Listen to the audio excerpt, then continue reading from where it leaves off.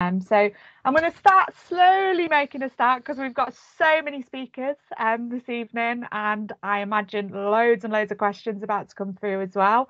Um, so just to introduce myself, my name is Lou Robinson. I'm the Vice President Engagement at the OU Students Association, which probably means nothing. It's a very cloudy name for a vice president, but it basically means that I work a lot on student voice so if you see anything to do with student consultation, Student Voice Festival, I'm behind the scenes working on that. Also work on our Hoot online magazine and co-chair our environment and sustainability group, which is why I'm here this evening.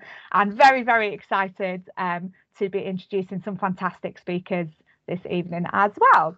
Um, just before we get started, I do have to put in front of you this lovely code of conduct. If you've joined a freshers event already this week, then you'll be very familiar with this code of conduct. Um, it's fairly self-explanatory, can be accessed via our website somewhere as well, um, but it's just being respectful um, within the chat box um, with anything that you're posting um, and just making sure that this is a safe and comfortable place for all students. So basically being respectful is a nice short summary of this code of conduct, um, which I'm sure everybody can um, get along just fine with.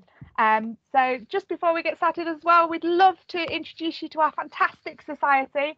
Um, we've got an environmental sustainability society for students to join and a thriving Facebook and Discord group as well. Um, and we'd love some more volunteers um, to help really lift this off the ground, run more events for students, events just like this one, um, to try and grow this community of like-minded students. If you think that sounds like you or something you'd really like to be involved in, um, you can pop along to the Facebook group. They're quite easy to find. Um, I'm sure someone from the staff team is probably going to ping a link in there at some point, but you can find us under clubs and societies as well. Um, my email is there. It's a fairly easy email address. It's just lou.robinson at open.ac.uk. Um, you can also find me under student leaders on the OU Students website. Um, do get in touch if you'd really like to help us lift that society a little bit further. And thank you, Jess, for the link. Um, you can also post on there as well. I'm on there quite frequently. So if you wanted to post in there anything as well, I'm sure I could pick it up um, and help you find your, your place in the society and grow it to something amazing. Um, but we've got loads to get through tonight. Very, very excited for this evening. Um, so I'm going to introduce our first speaker, um, Dr. Marcus Badger, who's going to be talking to us today about how we can use the rock record to understand the Earth's climate system. Very, very exciting. As a geology student, I'm all over this. So excited um, to hear this talk. So I'm going to hand over to Marcus. Thank you. Um, thanks everyone for uh, coming. Hope you can all hear me okay. Um, thank you for spending um, a little time this evening um, with us. Uh, yes, I am. Uh, I'm Dr. Marcus Badger, and yeah, I'm going to talk today um, a little bit about um, my uh, research and the work that I do at the Open University. Um, I'm going to give it a fairly broad focus. I'm going to talk about a lot of the background as to kind of why we do what we do um, and try not to get too techy. Um, but if you've got questions about some of the specifics of, of how we work and um, and why we do the things we do and, and, and how it works, then I'm I'm really happy uh, to answer any um, any questions in the in, in the panel discussion, and that's absolutely fine. Now, hopefully I can take control. Yes, there we go. Great. Uh, so, uh, yes, so I'm Dr. Marcus Badger. Um, I am a, a, senior lecturer in earth sciences at the Open University. Um, I work in uh, the STEM faculty. I'm a um, academic, central academic in the School of Environment, Earth and Ecosystem Sciences. Um, I'm an ocean going geologist. Um, the picture of me there um, on the slide is uh, a few years ago now, but that's me on board the Royal Research Ship uh, Discovery on a rather grey day somewhere in the Labrador Sea. Um, I'm a paleoclimate scientist, which means I study um, the Earth's climate and the Earth's climate system, but on a kind of uh, uh, a, a, focus on um, the past. So that's what the paleo bit in paleoclimate scientist is. And I um, look at uh, climate change over kind of multi-million year um, timescales. I'm an organic geochemist, and that means that I use um, biomarkers. So these are kind of molecular fossils um, that are left behind when um, organisms die, and I use the the chemistry and the chemical signals that are preserved in those um, biomarkers, those molecular fossils, again, which can be preserved for millions of years, um, to tell us things about environmental change.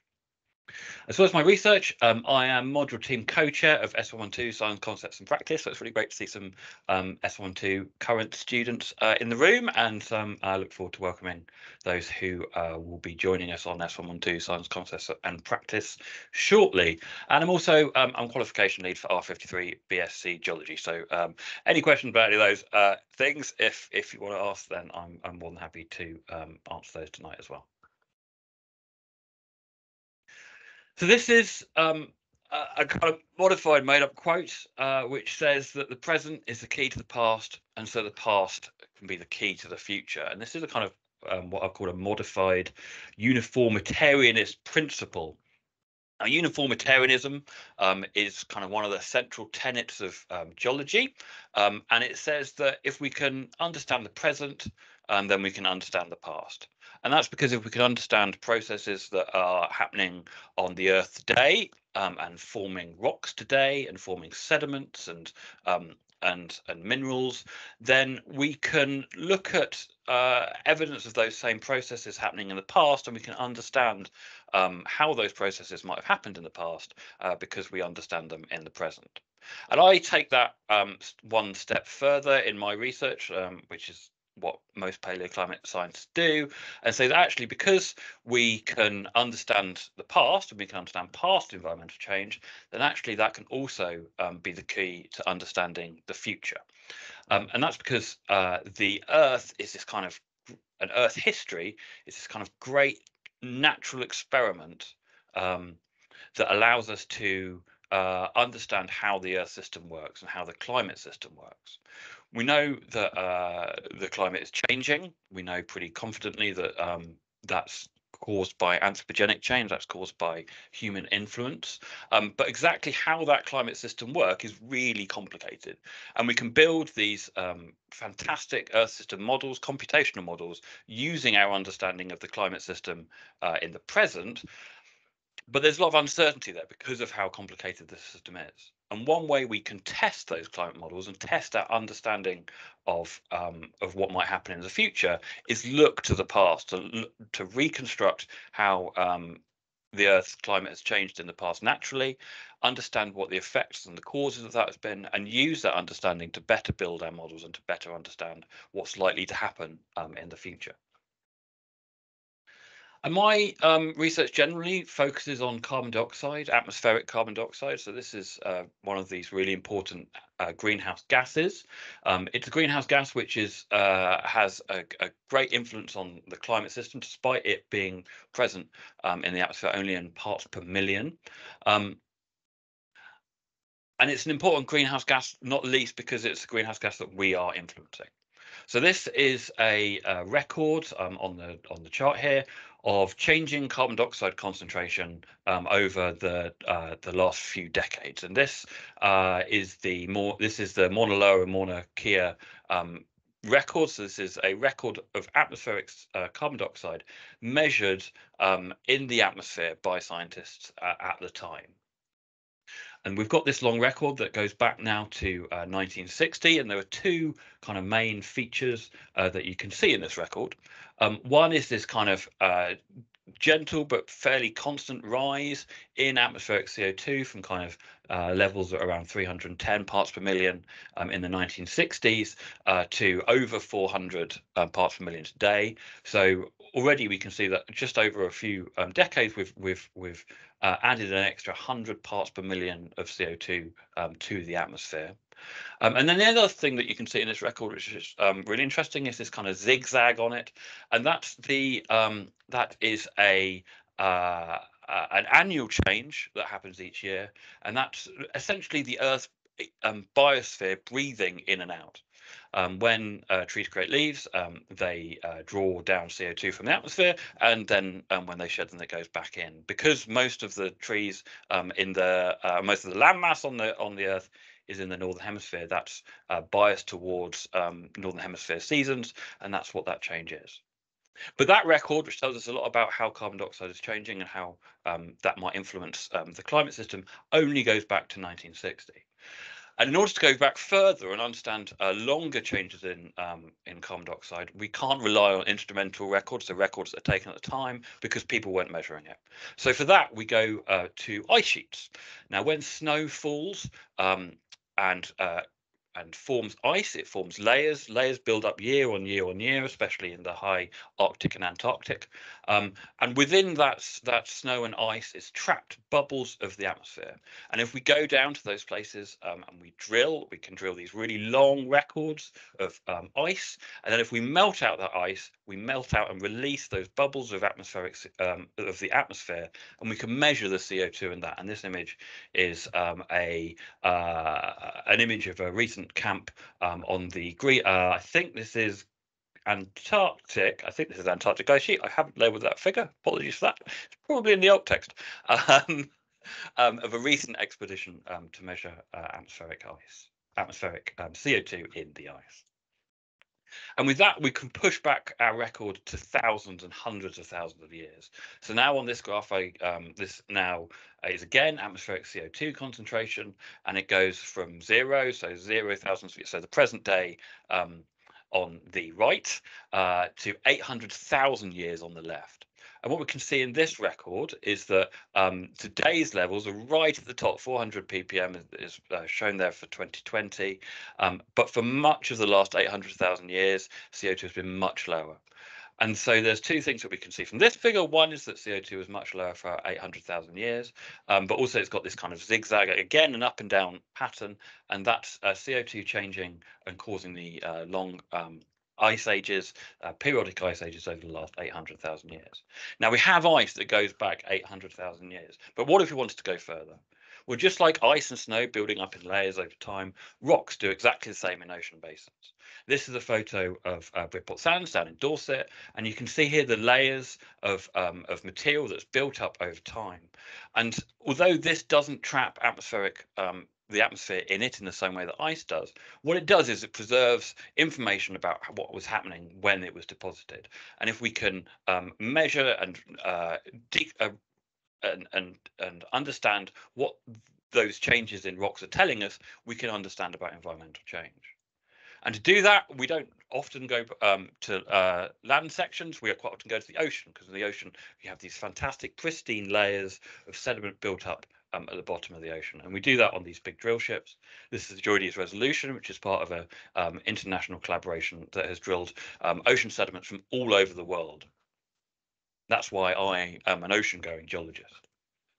Um, and we've been doing this for, again for decades. So we've got these fantastic records of sediments um, from around ocean basins, and this allows us to go back many millions of years.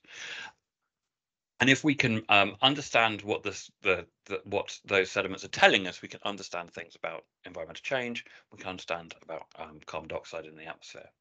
I do it using um, uh, an algae called a coccolithophore, which is a microscopic algae. They're kind of um, uh, 10 to 14 microns across, um, but they have a huge influence on the carbon cycle and they're really, really populous in the world. This is an image of a satellite image of a coccolithophore bloom.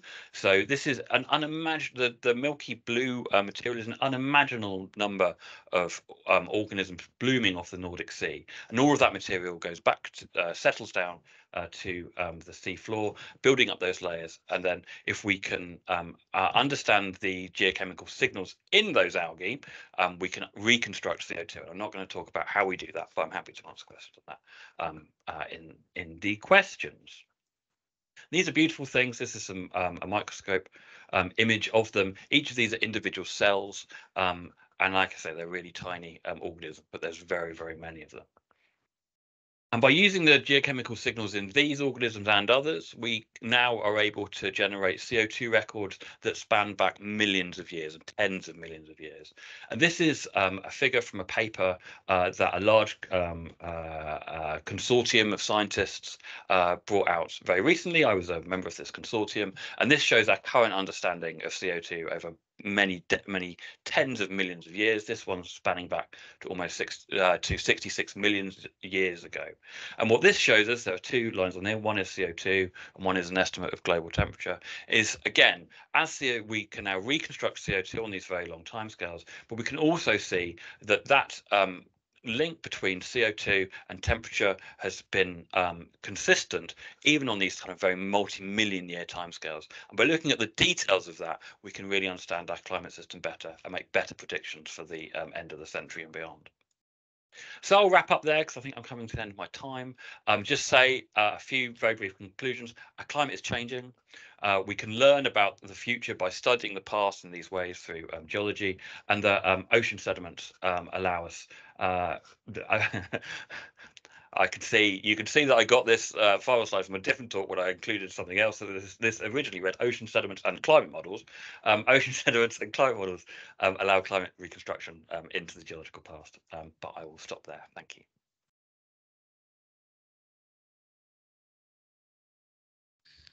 Perfect. Thank you so much. Um, that was a fantastic and very, very interesting talk. I can see already we're getting some uh, amazing um, comments coming through, um, surprises over the CO2. And Jess has already popped a question in for us because she'd love to know more about how the algae reconstruct CO2. Um, yeah, it's a great question. Um, um, so uh, the algae are photosynthetic, which is um, the first part. So that means that uh, they have to live uh, in the top part of the oceans because they have to um, photosynthesize. So they have to live in that kind of top 100 meters of the ocean, which sunlight penetrates in. That's re- that's really important. Step one. That's why they're really useful. Um, that means that they're in a body of water which is in contact with the atmosphere, and so um, because of something called Henry's law, um, the uh, the concentration of CO2 that is in those surfaced ocean waters is linked to the uh, atmospheric CO2. So we um, have uh, an algae that lives in waters, and those waters have an atmospheric have a CO2 concentration which is linked to um, the atmosphere. So if there are changes in the atmosphere, there are changes in that um, ocean water.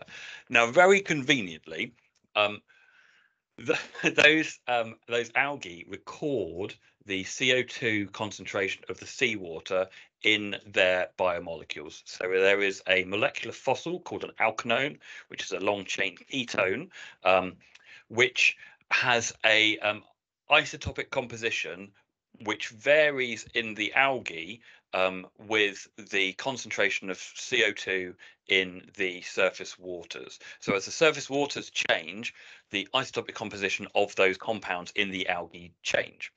And then so what we can do is because those algae and those biomolecular um, fossils are preserved and settle down into the um, uh, ocean floor, is if we can go back and get them and tell how old they are, which we can using a bunch of different processes, um, we can measure the carbon isotopic composition of those particular molecules, um, and uh, then we can use that to understand the concentration of CO2 in the surface waters, and then we can use that to understand the concentration of CO2 in the atmosphere.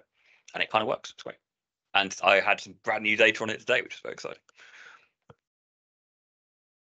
Amazing, thank you. Really great explanation there as well.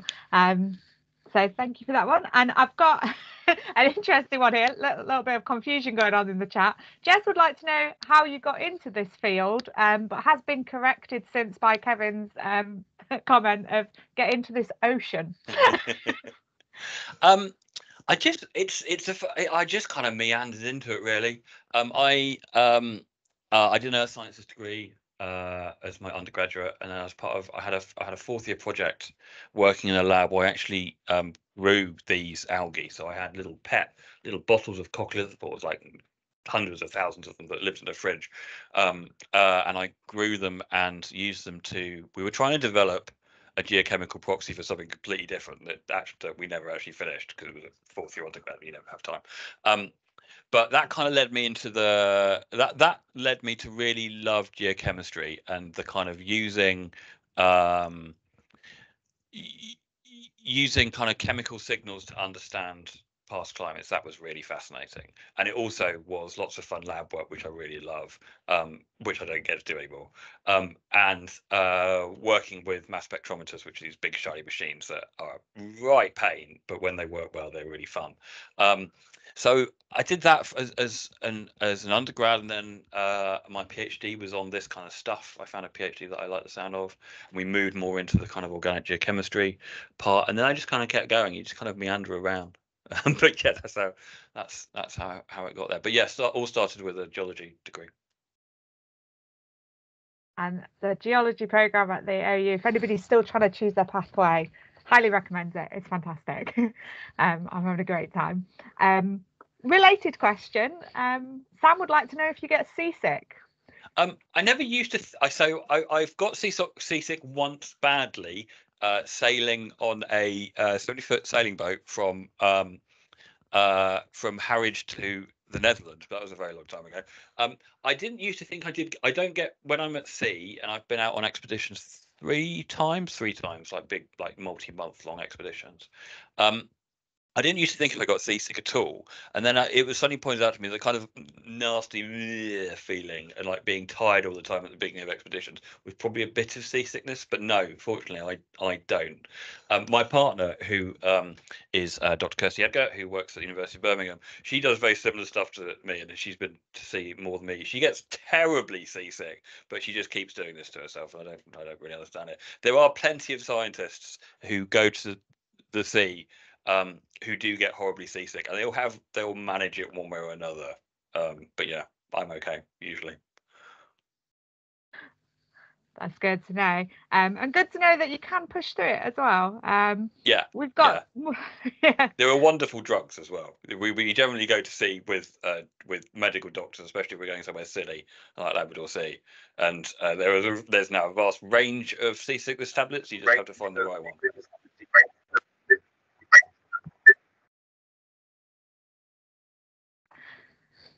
Um, yeah, so we've got some more questions coming through as well. Do keep them coming because we've got a couple of minutes left. So I think, uh, yeah, it's still more coming through with medications for seasickness. So um, if you're worried about seasickness, it sounds like it's very positive news for you and that you could still have a career at sea.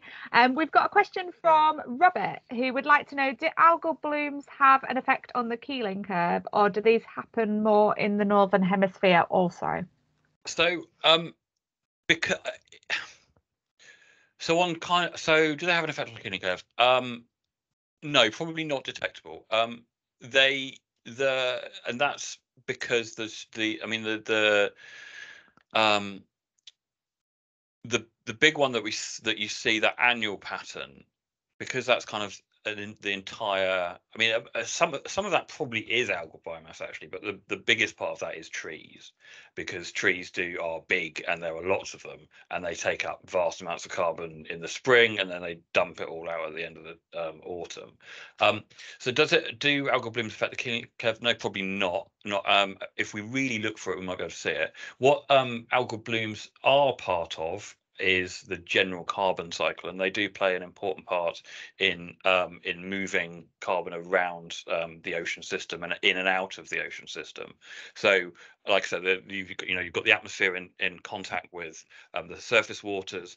When they are blooming, they are taking up huge amounts of carbon into their cells, and then a lot of those will sink down to the bottom, and that is part an important part of the carbon cycle and one of the sinks of carbon from the surface waters to uh, the deep ocean and eventually the sediment. So yeah, they are they they do they are a, um, even though they're tiny, tiny, weeny, there are enough of them that they do have a, an impact on the carbon cycle. Um, for kind of idea of scale, again, you know, the, the they they make calcium carbonate liths, so they um, are on their exoskeleton. That's the kind of things that you you could see um, around them in that that image.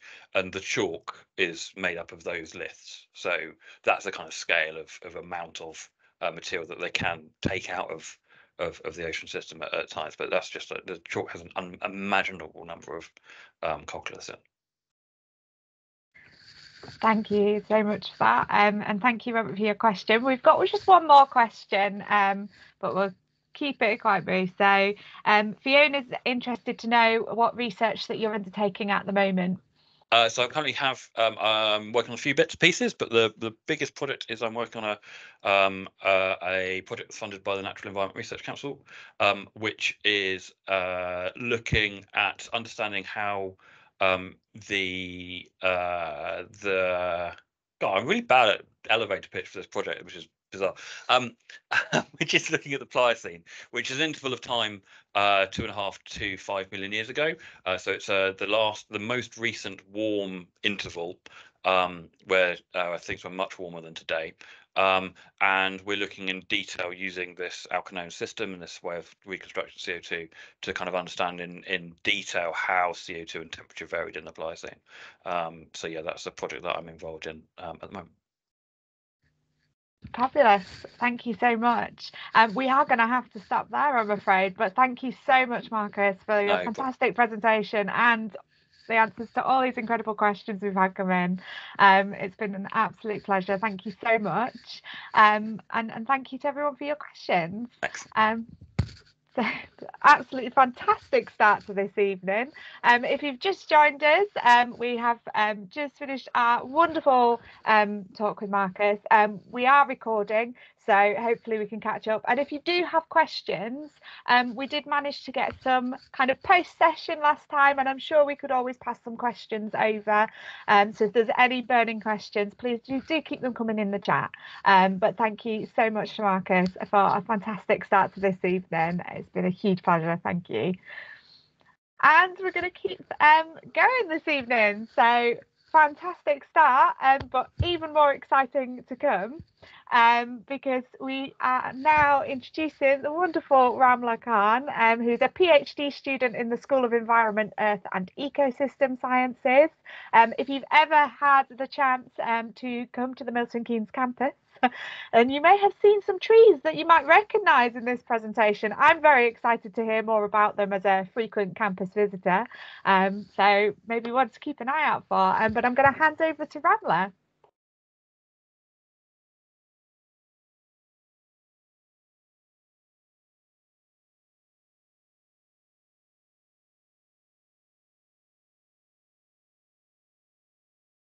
Oh, I think you're just muted, Ramla. Sorry.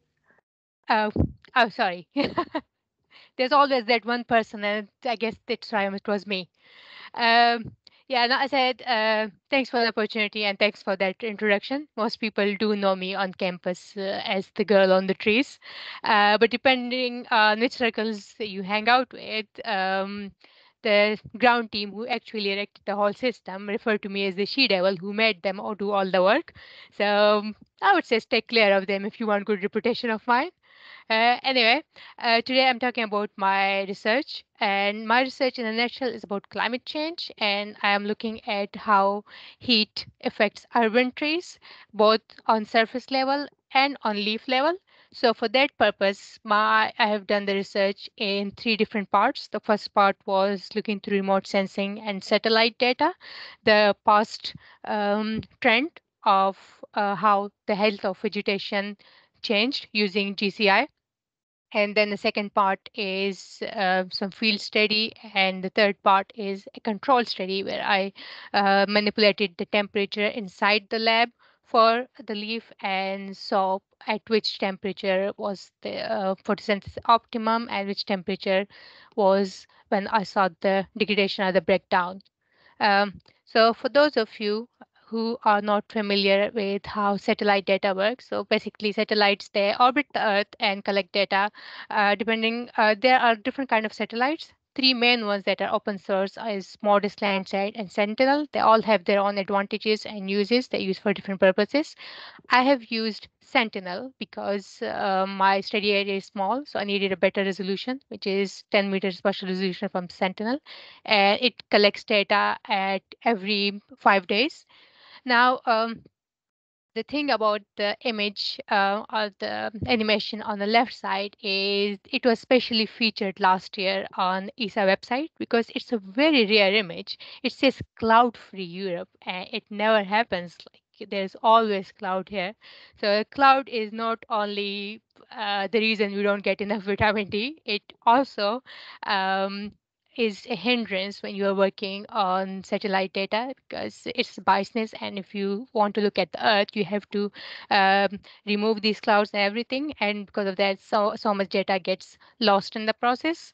Um, anyway, so moving forward and how you do that, how you collect data from the sa uh, satellite is you give it a shapefile, uh, a mask to tell them to only for this area, uh, I need the data. And I, since I'm working on urban trees and urban trees of Milton Keynes, so we manually digitized this area with the help of my supervisor, Phil Wheeler. And so I used the uh, UK Center of Ecology and Hydrology tree cover map, but by looking at closely at them, I realized that there was so much misclassified pixels. So to remove that, I used the Ordnance Survey um, uh, data for different infrastructure. Um, for a different infrastructure, I used that and I clipped the image and then uh, identified some errors and those that were left behind uh, there those is the mask I have used and the last third image you can see the rectified trees and the errors the black ones are errors. This is the misclassified pixels. This is just a result uh, from like I have lots of results, lots of map, but this is the map I chose to present here. And so this doctor on the side, uh, he's better than an NHS doctor, by the way. You can get an appointment with him more easily than with the GP of your area. And so what's happening here is I have used um, two different years as an example. 2018 was incredibly warm well 2021 was um, like the normal year the normal year that's uh, in uk so uh, looking at that i uh, took the start of season map and the end of the season vegetation health map.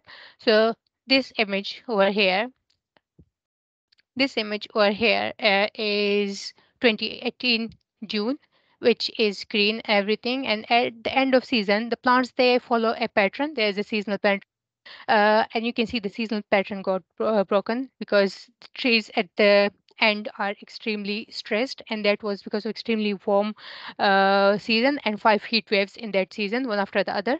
While in 2021 there was just one mild heat wave that didn't had much impact. You can see that uh, again the start of the season is the green like usual and then the end of season they have came back to its uh, not original state that happens in late in September, but they have um, like followed the normal seasonal pattern. Now, this is the first how the first uh, of the three parts of my research. Uh, in the second part, I have used uh, I have used, uh, I'm using some experimental setup uh, on campus, uh, the one that Lou mentioned. This is outside EGL lab and Robert Hooke building. If anyone of you ever come on, come on campus, uh, that's where they are. They don't look in a very nice state right now because uh, all the leaves have fallen down. But, and how I picked those trees was I used the Treezilla database. Um, in Treezilla database, I look at which is the common tree species in Milton Keynes. Among those common tree species, which is then available for purchase in the nursery at the time, because apparently you can't buy just any tree in the nursery. Not all of them are for sale, even if they are there. Um, so, and by the way, I'm open to suggestions on names uh, to come up with this whole system.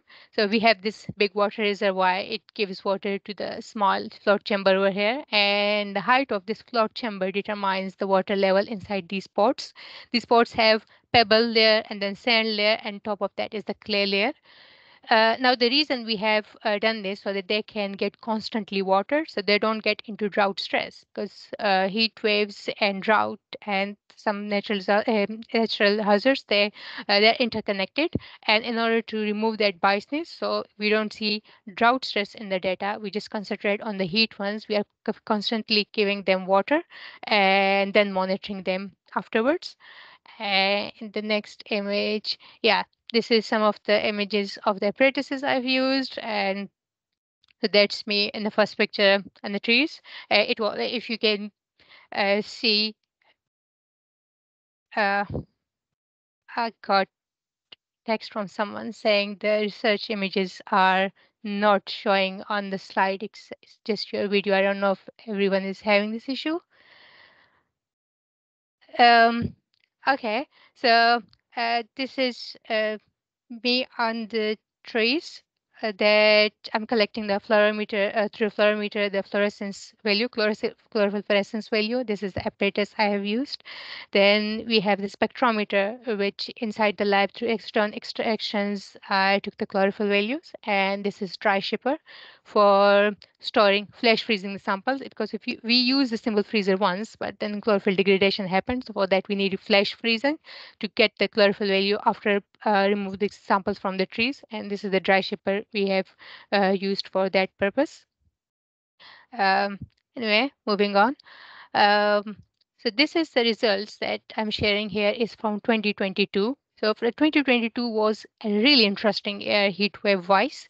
That there were like um, in the June, beginning of June, there was a heat wave. Then there was uh, a warm year. But the end of July and beginning of August, there was one after other mega mega heat waves. And usually, and usually, like on surface, you can easily see the, um, how the trees change their health and everything because of even small anomalies in the weather. But on leaf level in chlorophyll, it rarely happens. And in 2022 data, it actually did. Um, the chlorophyll uh, uh, curve, especially, you can see that it's uh, it usually goes down smoothly and then uh, falls down smoothly as well. But because of the two heat waves, one after the other, there's it's a sharp decline, very sharply it has fall down. This is a cause for concern, which means uh, the climate here, are the trees here are not um, ready to get adapted to a temperature as high as uh, 43 degrees C. Uh, because last year was the highest temperature was 43 uh, and that's that's a bit cause for concern and that was that thing thinking was the reason i came up with the last part of the research a controlled study where inside the lab i used a water bath and increased the temperature in marginals and looked at the Fv/Fm value which is um, how you look at the photosynthesis value and the metabolic capacity. Uh, so you looked at that data. Uh, so by doing that, I slowly increased the temperature and looked if at which temperature uh, was optimal and which temperature was when the photosynthesis or the trees started or the plant started giving up uh, altogether. So the board, um, so uh, on the right hand side, uh, these the T critical and T50, I have used two parameters. T critical is when the FFM value starts declining and T50 is when it reduces by 50%. So um, this season, uh, it wasn't on intention, but the trees fell down um, at one point and because of the falling down, they stopped getting water and they automatically went into drought stress. And as it happens, I collected the data. I did that experiment before that happened and after that happened. And what interesting information was that these trees, even though uh, this this uh, first graph especially, this is when the disaster happened. So you can see that the T critical and T50 value are um, really low compared to the rest of the results. But then I leave, left it in 24 hours for hydration and then checked the value again. And when I checked the value, it was close to the original one, like how it usually was during this experiment. So uh, between 53 to 56 is like no matter the circumstances for the temperature, when the chlorophyll LFFM value completely uh, would break down. So that means the tree species Acer campestre elegans or field maple, which is a common tree species not just in Milton Keynes, but uh, also throughout the UK, is um, cannot survive beyond 53 no matter what. They can come back on other temperatures. But so this research were here, the um, reason, other reason you can look at it is we can advise the council later, which tree species to plant and which not to plant. Um, people in ecology side or uh, environmental sciences, even they are aware of certain things. Like for example, in the Kensal uh, park, you walk around, you see lots of pine trees, and anyone could tell you uh, with, with a bit of knowledge that that is a very bad decision because those trees they don't belong here. They are making the soil acidic and that is not good for the environment so mm, every every area or every environment uh, they need a specific kind of greenery and this the purpose of this research was to look at because the temperature is changing climate is changing to look at uh, if the current tree species, the current urban trees, are they adaptable? Um, are they adaptable uh, to the changing temperature? And the answer is that not all of them, like uh, field maple especially. Um, it's very common. It's very common. It makes me really sad when I was looking at that results. Um, so I think I have taken lots of time. So I should just zip it. Uh, thank you all for your uh, consideration and listening to me. Uh, if there are any questions, uh, let me know. Uh, um, either in chat, uh, send me an email, however you feel comfortable. Thank you so, so much. It's been an absolute pleasure to hear more about your research. Um, I remember Thank training you. with you for the Bananas game, um, which you played Yeah. back in September at the Freshers, and um, I really wanted to know more, but it was such a packed day. Um, so it's been a wonderful opportunity to, to finally hear more about this, and I hope it seems everybody's really enjoyed it in the chat as well. We've got some questions coming through already. Jess says it's really great to hear about the applications of your research. Um, she's got quite an interesting question. What's going to happen to these trees? So, how old are they, and will they have to be moved into bigger pots over time? Uh, so these trees, they when we uh, bought them, they came on campus, they were like medium height. Uh, and next year, in the next year, they grew up so tall that we had to then get a tower for me to reach them. I'm a short person in general, but it became a joke. She can't reach her trees. So uh, these trees are not that old. Uh, I would say one two years, and yes, they they they they will be moved on campus. So the uh, students actually who helped me, volunteers in planting them into the pots, they all of them they have like they just made the decision without involving. Said they are named after us. So every tree is named after the student who helped me plant them, and they will be moved um, to get planted on campus. Amazing, thank you. And that's answered Sam's question there as well. I'm very interested to hear about the trees' names. So, Yes. pleased to hear they have names. Um, Jess would also like to know do you plan to complete the research on other species? Uh, that depends. Is there funding available for me to do that? yeah, but yeah, it's it's interesting research, and I have like um uh, so many people have started getting ideas for that because uh, th- this is not a very widely done research, and so like there's some research available on oak trees and some others. But yeah, I would like to, uh, but if there's opportunity. Fabulous. Um, there's a little uh, comment from Jess that she hopes they will have little name plaques, which I quite like the idea of. um, yeah. Fiona, yeah, it would be cute. Fiona would like to know how you got into the research. Oh, that's a good question. Uh, no, so like basically, I did my undergrads in civil engineering and then my master's in remote sensing and GIS. Uh, but through but throughout my career, I have always worked on natural disasters actually. So like uh, landslides, uh, earthquakes, flash flooding, uh, droughts in my master's, um, and I was mm, part of a SUPARCO team, which is Space Agency of my country and I worked with some natural disasters were there as well. So when I came here, and my supervisor actually said to me, uh, "You need to come up with your own project idea." Uh, because the one you applied to is not that big. Uh, so it was actually small, but this whole thing is my brainchild. So I'm quite proud of that as well. And yeah, so um, I looked at it and I said, well, heat wave is a natural hazard that you can see in UK more frequently and looking at the changing temperature i thought uh, well it's a risk but i can take the risk and say that um, yeah we should do that Amazing. Thank you. Um, it's always lovely to hear everybody's kind of journey through this, especially with so many students in the audience. It's something we all take a huge interest in because we're all wondering where to go next.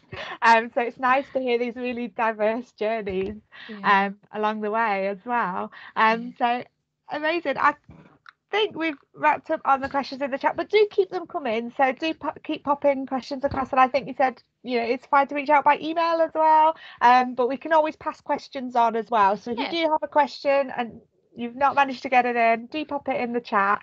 We are going to take a short break now. Um, but before I do, I just want to say a huge thank you to Ramla. That was an amazing talk. Some great questions coming in, really engaging, and just wonderful to hear about um, research going on on the yeah. campus in Milton Keynes. And we'll be sure to think of you when we see the, your trees.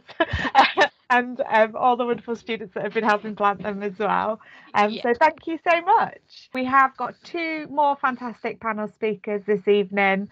Um, so do try and stay with us. We'll be here till eight o'clock. Um, and next up, we have the fantastic Dr. Kevin Collins, who's going to be talking to us a little bit about some systems thinking and the different, the new ways of thinking that sustainability requires. So very, very interesting. Um, and I'm going to hand over to Kevin. Great, thank you. Thank you. Very, uh, good evening, everybody. Um, so I'm Kevin Collins. I'm Senior Lecturer in Environment and Systems here at the OU, as you know. Um, and uh, most of my talk is going to be just trying to explore a little bit about how we think about systems and, and the relationship to sustainability. Um, just a very briefly background, I mean, I'm, I'm um, production chair for various environmental management uh, modules, and I'm also qualification lead for environmental management undergraduate level. So if you're doing some of these pathways, you'll bump into some of these modules and some of these ideas um, that I'll just be briefly talking about today. And it will be brief. Um, I, it's, as we've been seeing, it's very hard to condense big subject into 10 minutes, but we'll give it a try. So, um, you probably know the answer to this, um, but there's a word that's missing in all of these terms. And um, I'm hoping you're all going to guess within the first three seconds of reading this uh, what that missing word is. And Marcus actually mentioned quite a few of them already. Um, so um, I'm sure you're going to guess that it's the word, and it's this word, system.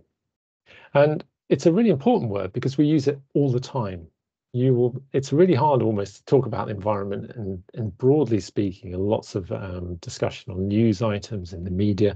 You'll see this word all the time represented and used the trouble is um, as my colleague Ray Ison says it's actually gone feral. We've forgotten actually what it means. So we'll see if we can recover some of that understanding a little bit this, this evening why is it important? Well, it's important because we talk about environment and we talk about systems and we talk about sustainability often in the same sentence um, in various ways. Um, and critically, if we're thinking about sustainability, if we're trying to understand or define sustainability, we're going to use the word system. Um, and here's a definition that we use in our undergraduate teaching um, in the modules I write. And it's about this relationship between humans and the environment, and that's a system in itself, that relationship. And it's depicted here uh, visually, the social and the biophysical. And there's some kind of interaction between them, there's an interchange. And the extent to which we can say we are being sustainable or we are achieving sustainability or becoming more sustainable depends on that relationship, what is happening between those two different um, systems. And of course, these are all happening at local, national, regional, and international levels. So that interchange is always being varied by geographic scale as well as time. So that's sustainability, and that's why systems, the word system, is really important um, because sustainability depends on that systemic relationship. So what do we mean by system in itself? Um, as I said, it's gone feral and we've forgotten what it means we tend to use the word system as something that exists out, out there in the real world that we can engineer, that we can manipulate, we can construct, we can reconstruct um, often. But there's also ways of thinking about systems as much more of a sort of an idea, um, something we can use to make sense of the complexity and the confusion of the world around us. And that's the area that I'm much more interested in um, because I think that's the area where sustainability becomes really interesting because it's a negotiation of that complexity for making changes. What is a system then? It actually, the word system comes from the Greek verb synistanai, and it means to place together. It doesn't, it doesn't just happen, it's something's done by someone to make something a system. And so it's an organized whole defined by someone as having a purpose and it's observer dependent. It doesn't exist out there independently of you or people around it. Um, it's a distinction people are making all the time. And they do that by identifying relationships between things and then drawing a boundary around that thing and calling it something. And if you want a really, really um, simple way of thinking about it, you know, a bicycle is a system um, in itself.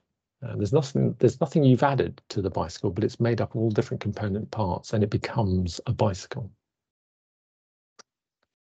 Why is this important for the environment? Um, because we use it's a really important way of thinking about how we understand the environment. So here's a picture of somebody thinking about a pond or a wetland, and they've identified relationships um, around bird life, fish, aquatic plants, and they've put a boundary around that and said that's the pond or that's the wetland. And the sort of background elements, the, the, the trees, the uh, hills have all disappeared away.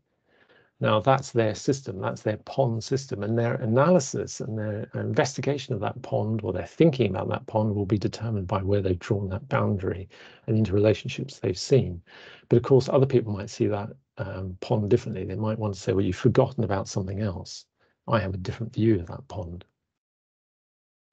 So there's a key thing that we need to think about here that's it's not only making boundary choices and identifying relationships, but when you're doing systems thinking, you're also trying to be aware of the multiple perspectives in the situation. Now, I, am not sure if you can see quite the detail of this, and it's less important perhaps because I'll talk through it. But at the top of this, you've got a, a graphic, a cartoon graphic of situation, which is a rural landscape with a family, a farming family, their crops, their cow, and a, a hinterland behind, and a helicopter in the sky. That's the situation that exists sort of in in there in the world, but our view of it is shaped by how we think about that system. So if you're an agronomist, for example, your whole framing is determined by what's actually interesting from an agronomy point of view, in which case this is just the farmer in the fields. If you're an ecologist, you might be much more interested in the relationship and the energy relationships between the cow and the farmer and the fields and so on. If you're a sociologist, forget the forget the cow almost, forget the fields. What you're interested in is the dynamics between the family, and that becomes your main frame of interest. An animal scientist forget everything except the animal and maybe the farmer who's looking after it.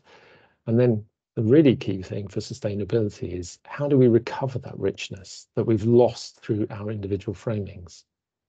And the key thing here in that bottom slide is we've tried to put all the interdisciplinary team tries to recapture all of that.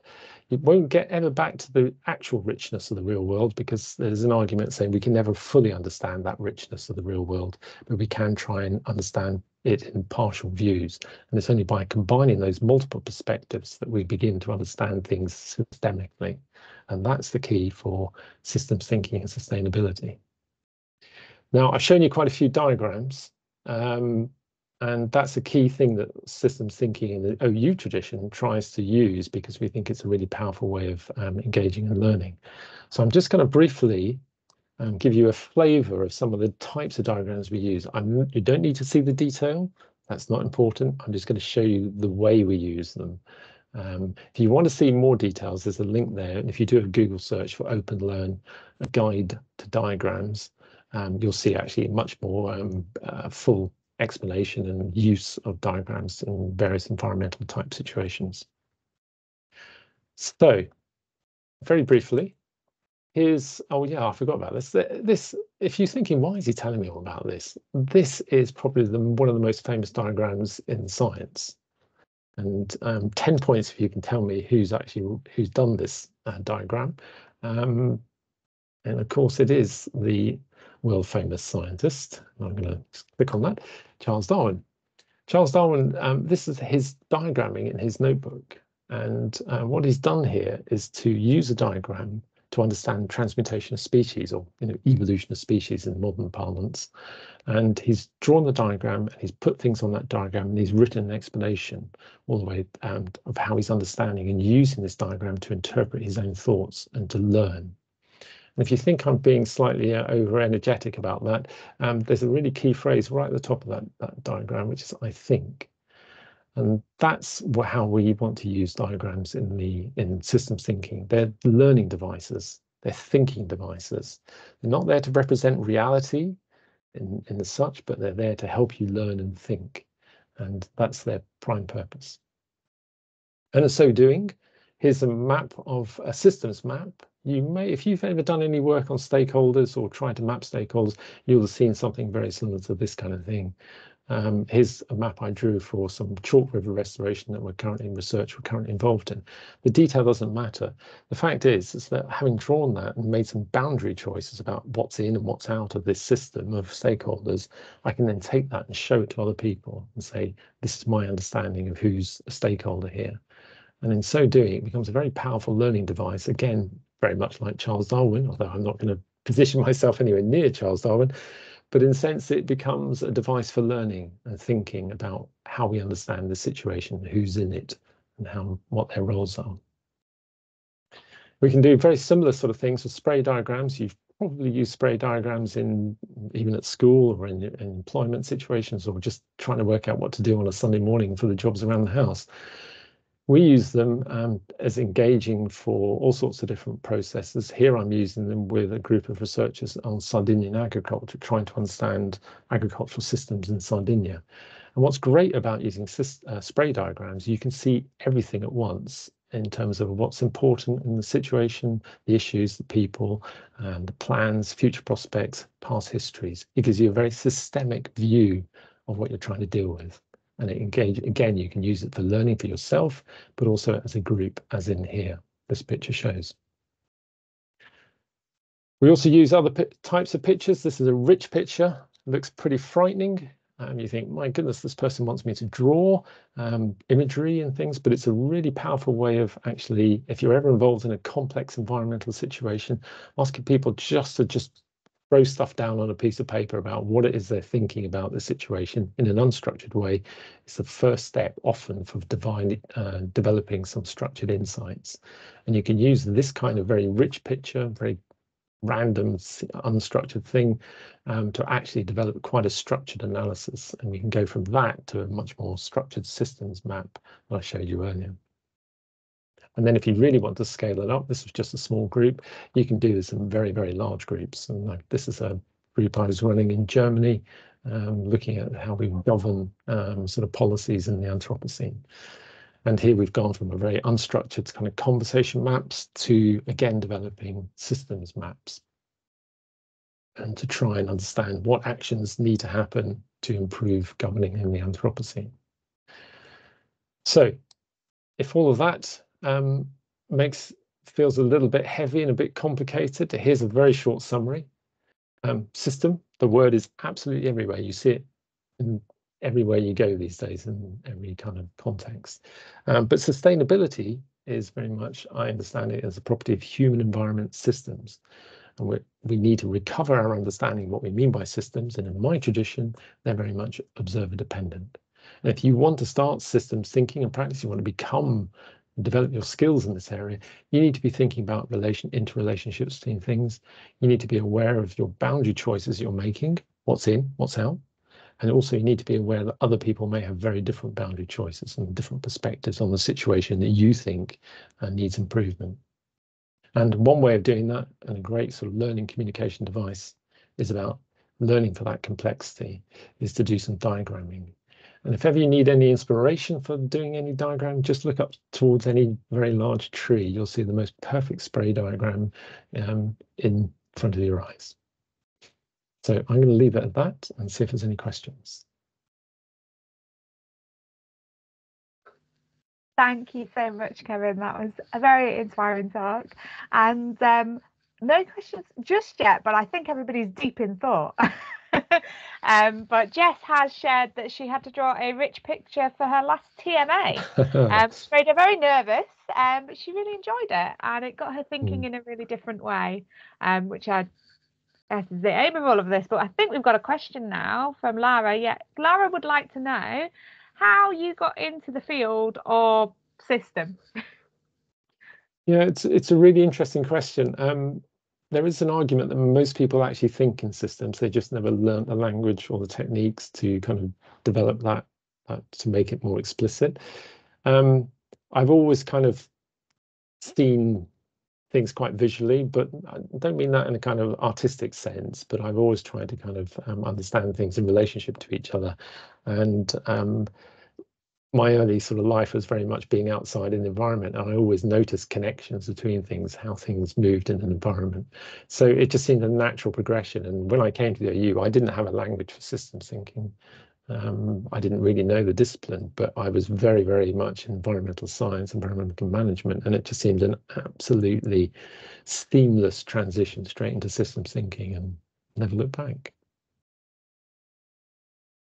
Fabulous um, Sam has uh, been eagerly spotting T863 on the slides. Yes. asking if this is an OU course. It was. Um, there are still courses that are doing this at postgraduate level, um, but it's not T863. I just took that particular slide. If you put in um, systems thinking um, into the OU sort of um, course finder, you'll see various things. If you can't find anything, we I can certainly give you pointers towards it. Um, yeah. Amazing, thank you. Um, so I think Sam will be off exploring that. Um, Jess would like to know, do you think getting more people to take a systems approach will help as we face climate change? Yeah, I, I, you probably say I would say this, but yes, I do because um, systems thinking is really kind of it enables you to see relation interrelationships, how things are connected, not just in a linear sense, um, although that is important. You know, um, if I drive my car more, we get more CO2. That's absolutely true. But when you start to look, use systems thinking, you start to understand the sort of wider consequences, but also that other people have different perspective to you on the situation. And so you just saying, don't drive your car because it creates CO2 is actually not necessarily what other people see or hear because they will give you a different perspective on why they need to drive their car. And once you understand that from a, that they are making a different boundary choice because they have a different perspective, then you can start to have a discussion with them about, well, okay, so how do you make that boundary choice? Why do you have that perspective? Rather than just saying you must. And that's, I think, is the start of a better conversation about sustainability rather than just expecting everybody to ditch their cars. Excellent, really great thought there. Um, and I can see Marcus is eagerly sharing some system diagrams of his own in the chat, um, which is really fab to see. Um, if you can't see those at the moment, they are um, fabulous. Um, and Jess has also um, shared in the chat the systems thinking in practice module, I assume that is, yes, or a is, page yeah. from the Open University. Um, so anybody that was asking about that, that link is there. If for some reason you can't see the chat this evening, as I know happens sometimes as a guest on Teams, do just get in touch with us at the association and we'll be able to send that link over to you. Because um, I know Chatbox has a life of, like mind of its own sometimes, and we sometimes miss some of those messages. Um, but I think that is all our questions for now. But as always, any more questions for Kevin, we'd love to receive them. So do keep popping them in the chat and we can always pass them on for you as well. It's been an absolute pleasure um, listening to your talk and your answers to our fabulous questions this evening, Kevin. Mm. Thank you so much for being here. Really appreciate it. Great. No, thanks. Thanks for being here. And I really enjoyed listening to all the different questions. Great. Thank you so much. And we have got, oh, our PowerPoint has just disappeared. I can, I think we're just getting back to where we were. There we go. Fantastic. I will try and grab that one again. Um, so we now have our final panelist of the evening. Very, very exciting. Um, we packed so much in um, and it's amazing to be here enjoying all these talks. If you just recently joined us, um, we are recording, so you'll be able to catch up on any you've missed. Um, but I've now got the pleasure of introducing Dr. Leslie Mabon, who is here to talk to us about how climate change is affecting the UK now. Um, really exciting, and I'm going to hand over to Leslie.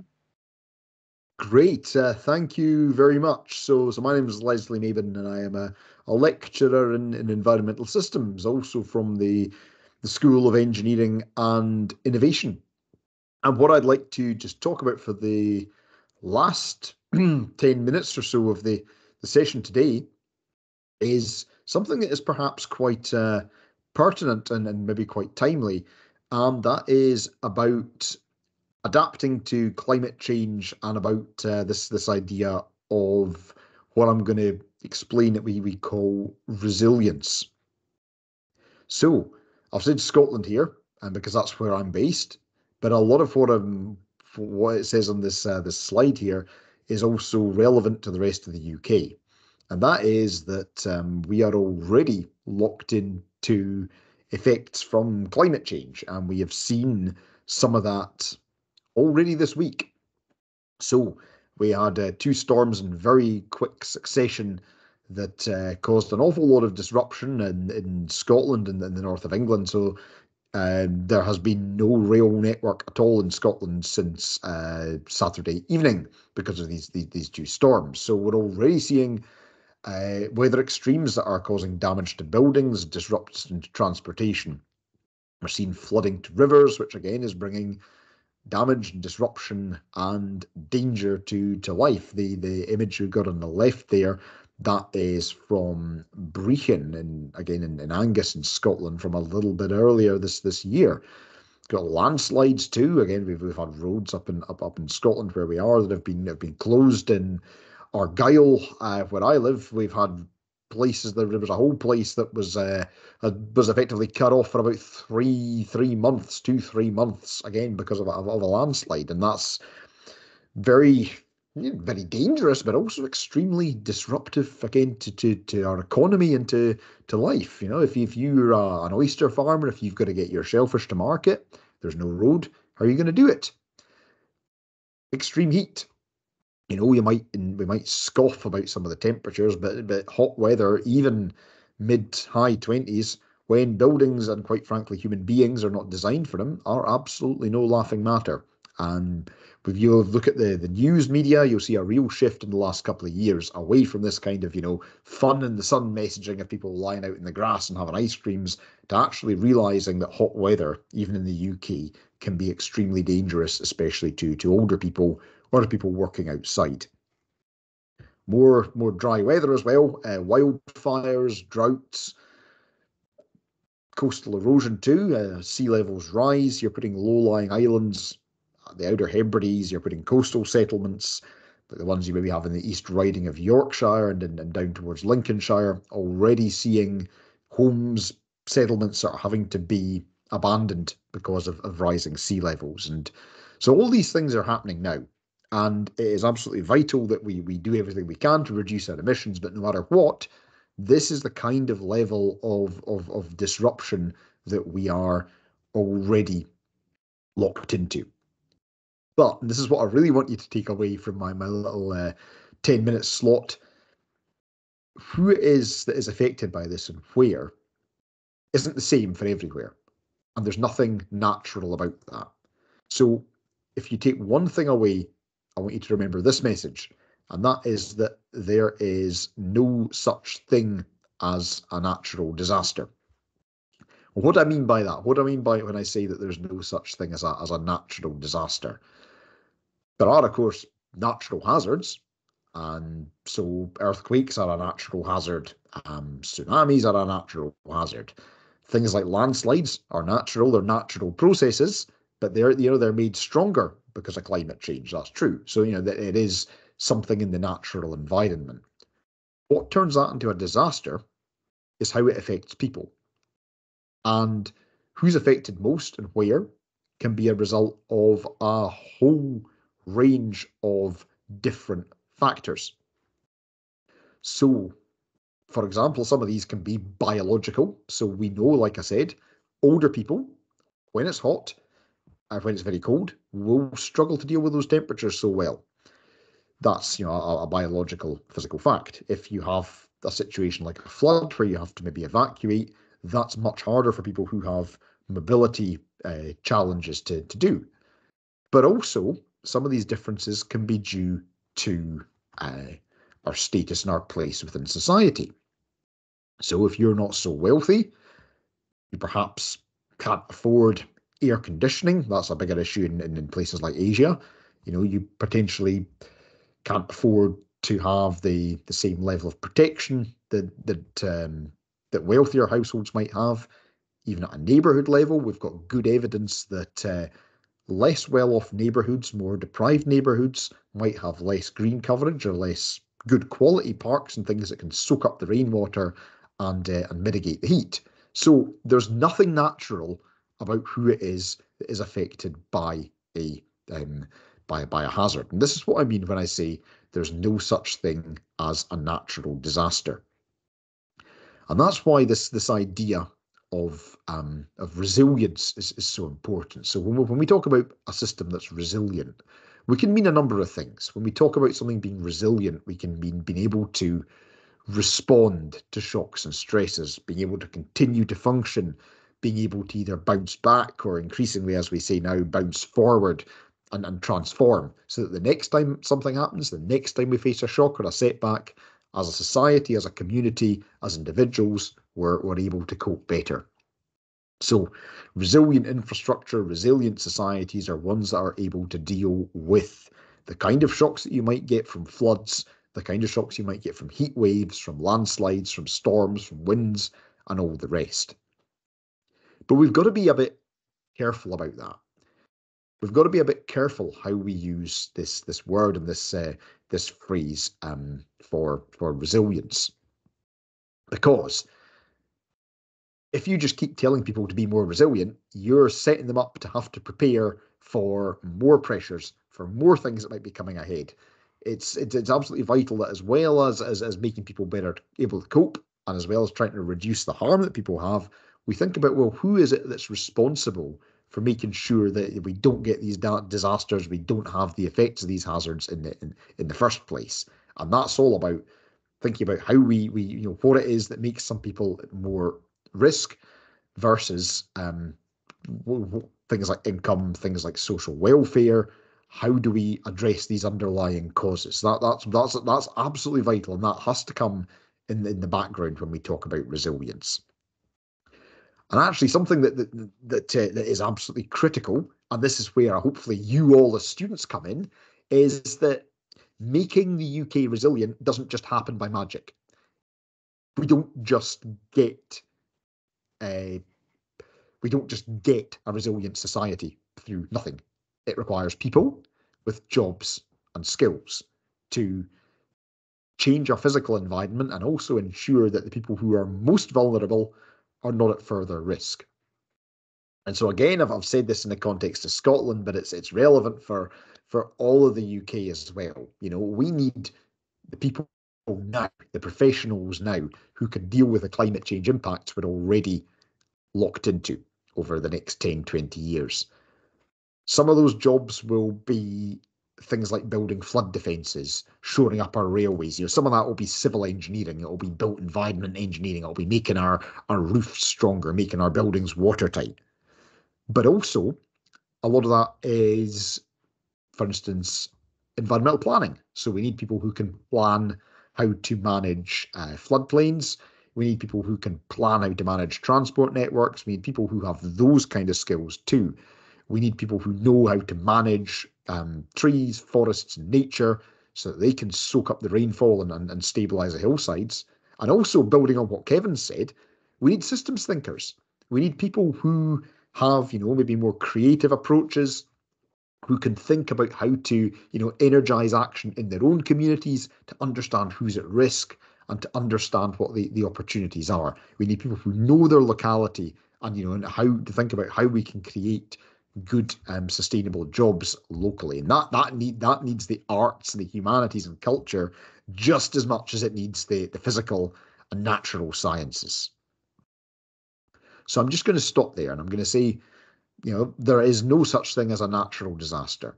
It depends on this kind of society we live in. It depends on the kind of policies we have. It depends on how our society and our culture is structured and organized. That influences who's most at risk and who isn't under a climate emergency. If you remember that, I'll be very, I'll be very happy. Um, so there's no such thing as a natural disaster. Green skills are making for vital for making Scotland and, and the wider UK resilient and for supporting the most vulnerable. I will stop there. Thank you very much, and I'll be very happy to take any questions that you might have. Fabulous. Thank you so much, Leslie. Um, a really interesting presentation and definitely motivation to keep going with our degrees and finish those TMAs um, that we're currently sat here avoiding. um, but we've already got some questions whizzing in and do keep them coming because we've got a little bit of time left for questions, which is fantastic. Um, so Livia has asked, do you see a pattern in the type of housing affected by flooding? In short, yes, that's exactly right. We definitely see that. Um, we see that, as I say, it there is a a, a trend that you that um, housing that is either local authority housing or privately rented housing tends to be at more risk from weather extremes. So my own my own expertise is hot weather, it's heat rather than than flooding. But this is absolutely true for for heat as well, and there's a reason for that. Um, so as I say, hot weather um, tends to be mitigated. We have less the, the, actual within a city. It's cooler when you've got more trees and more parks because that provides shading. It can help the wind flow. Um, it, it, it tends to be cooler. Places that have more trees and more parks tend to be more well off, and that happens for a couple of reasons. One, because when you plant things like that, rich people want to move in, the property prices go up. Two, because when you have a neighborhood where people are maybe wealthier and more empowered, they're kind of able to organize, they know how to lobby the council to stop things being chopped down, to stop things being built in their parks and things. So, again, that's exactly what we mean when we say there's no such thing as a natural disaster. There is really good evidence for all kinds of hazards that less well off people, less empowered people tend to be disproportionately at risk under a changing climate and from disasters and hazards.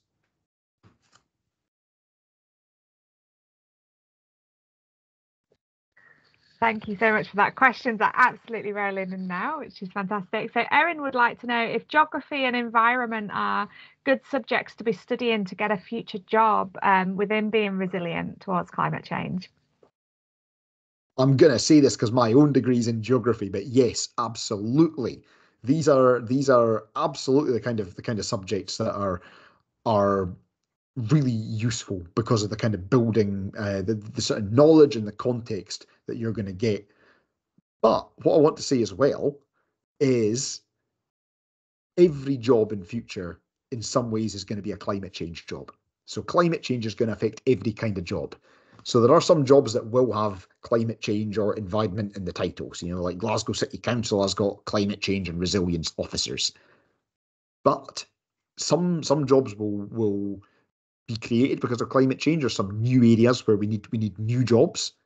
There's some kinds of jobs that might might disappear, things like drilling for oil and gas, and that's why it's really important. I put the word just transition in there. That means, you know, how we make new jobs for those people you know, whose livelihoods depend on things that we might stop doing. But a lot of jobs will transform because of climate change. Um, so absolutely every job is going to be a climate change job. Geography and environmental subjects are great for the kind of systemic thinking that Kevin was talking about and for getting that background picture of what's going on and what we need to do to respond. Amazing. I think Erin might be on that pathway herself because um, we got a massive smiley face through in reaction to that, which is great. Um, there's some discussion going on about um, kind of buildings from further back in time. So Kevin noted that when was the last time a, a cathedral or town church in the UK was flooded? And it's prompted a little bit of discussion in the chat. I actually don't know the answer to that. I'm going to have to go away and uh, I'm going to have to go away and look that up. Although I suspect Kevin knows the answer. He's probably going to tell me next time we have a meeting. But I'm going to have to go away and look that up because I'm really interested. But what I will, what I will say about that is again that if we look at history, we can see that okay, climate change is new, but there's actually a lot we can learn about how we built the environment and where we put important places in the past. So Japan, which is a country I know really well, if you look at where some of the shrines are are built, very old Shinto shrines from 400, 500 years ago might look quite far inland, but they'll have place names that will be to do with waves. So, you know, in the past, a tsunami comes, they'll build a shrine or something, and it serves as a marker for future generations. You know, and kind of through culture, through spiritual practices, you can understand you know where the hazards are coming in the environment so that's really interesting to think you know if we look to history we look to the past we can learn a lot about what, might be coming ahead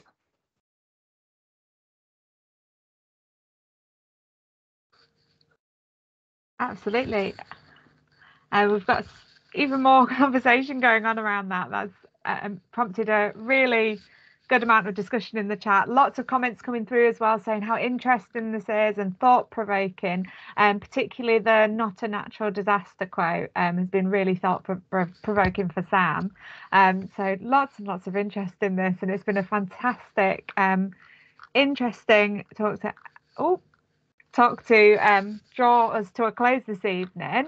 Um, again, if there's any questions um, beyond this talk, do please reach out to us um, because we'd love to be able to pass them on. Uh, but thank you so much, Leslie, um, for this evening. Your talk was absolutely incredible. And thank you for taking questions as well. It's really, really appreciated. Thank you. Thank you. Super. So we are towards the end of the evening. Thank you so much to all of the students who have been here with us throughout. Um, thank you for taking the time this evening to attend this event um, and take that little bit of time away from your studies. We know how busy life is as an OU student, and we always um, love being in a session together with all these fantastic questions and talks. It's been a fantastic opportunity. I just want to say a massive thank you to every single one of our speakers this evening. We are so privileged um, to have had four very interesting and amazing talks um, from four of our incredible academics. So thank you so much um, for giving up your time for us this evening. Um, and I know from the chat, everybody is having a fantastic evening and has been amazed by all of the talks. So much positive feedback coming through for all of you. Um, so thank you so much. Um, and from the Students Association, we'd just like to say keep an eye on the Freshers website um, for our feedback survey. And there's lots of competitions with prizes on offer. We love prizes at the Students Association. Um, and we've also got, very sadly for me, um, the student elections will be coming up very soon. Um, so if you are interested in taking my role, because um, I am standing down um, this summer, um, and you're interested in taking the lead in your students association, it's a fantastic opportunity. You get to lead panels like this um, and get involved with so many things, university side as well as at the association. It is a brilliant opportunity, um, fits around your studies um, and is quite flexible too. So those times when I've been away on field work, I've managed to kind of shelve my role a little bit. So um, definitely something to look into. And you can reach us on our website, on various social media. We're on Twitter or X, whatever we're calling it now, Facebook, Instagram, TikTok, and there is a newsletter you can sign up to to find out more about events just like this one and our fantastic online magazine, The Hoot. So do check out our website oustudents.com um, for all those incredible opportunities. Um, but thank you so, so much for joining tonight. It's been an absolute pleasure. Once again, thank you to all our speakers and have a fantastic evening. Best of luck with your studies.